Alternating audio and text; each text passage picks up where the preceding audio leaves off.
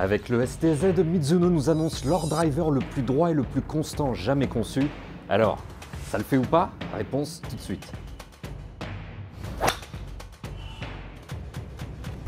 Ce nouveau driver de Mizuno, il est hyper rassurant à l'adresse. Vous le posez près de la balle avec sa grosse tête de 460 cm3 et sa jolie couronne en carbone composite. Vous vous sentez rassuré, vous sentez qu'il n'y aura pas trop de soucis pour envoyer la balle au plafond et sans trop se soucier des coups décentrés. Et justement, les ingénieurs de Mizuno, ils ont créé le Z-Axis, c'est une nouvelle répartition de masse dans la tête. On a gagné beaucoup de poids avec la couronne en carbone composite, avec cette masse de 20 grammes qui est cruciale pour la stabilité du club.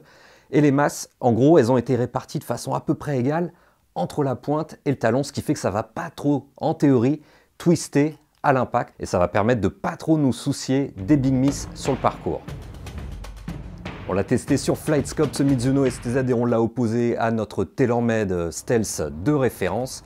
Verdict, oui, on tape vraiment droit et c'est vraiment constant ce STZ. Donc bravo à Mizuno, vous le voyez par vous-même.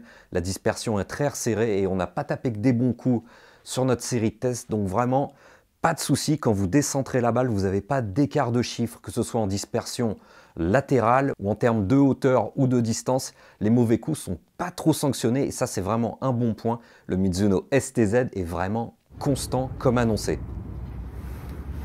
En termes de distance maintenant, on va pas trop comparer parce que le manche était un quart de inch plus court, mais vous voyez quand même qu'il n'y a pas trop de différence en distance totale.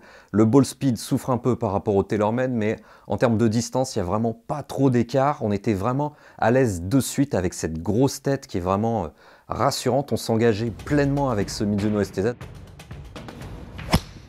Donc en bref, ce STZ n'est pas le plus connu des drivers, même s'il est joué par quelques joueurs sur le tour euh, comme Adrien Sadier. Mais c'est un driver qui nous plaît parce qu'il va plaire à beaucoup de joueurs, donc du joueur du circuit jusqu'aux joueurs euh, réguliers de compétition, on va dire jusqu'à 15, peut-être même 20 d'index. La face est vraiment rassurante, je trouve, quand on le pose à côté de la balle, on sait que la balle va partir. Il n'y a plus qu'à trouver le bon shaft et le tout à moins de 500 euros. Et ça aussi, c'est un bon point pour ce STZ de Mizuno.